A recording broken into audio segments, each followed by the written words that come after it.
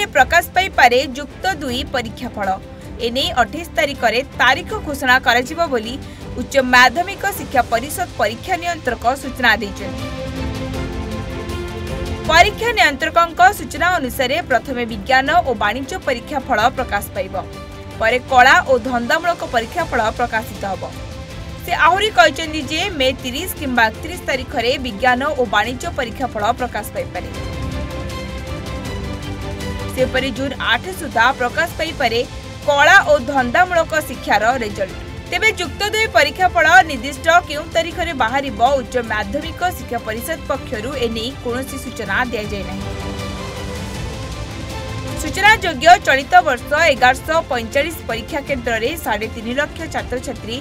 ଯୁକ୍ତ ଦୁଇ ପରୀକ୍ଷା ଦେଇଥିଲେ ଯୁକ୍ତ ଦୁଇ କଳାରେ ଦୁଇ ଲକ୍ଷ ଉଣେଇଶ ହଜାର ଶହେ ଦଶ ବିଜ୍ଞାନରେ ଏକାନବେ ହଜାର ତିନିଶହ ଅଣାଅଶୀ ବାଣିଜ୍ୟରେ ତେଇଶ ହଜାର ଶହେ ଅଡ଼ଚାଳିଶ ଜଣ ଓ ଧନ୍ଦାମୂଳକରେ ପାଞ୍ଚ ହଜାର ପରୀକ୍ଷାର୍ଥୀ ପରୀକ୍ଷା ଦେଇଥିଲେ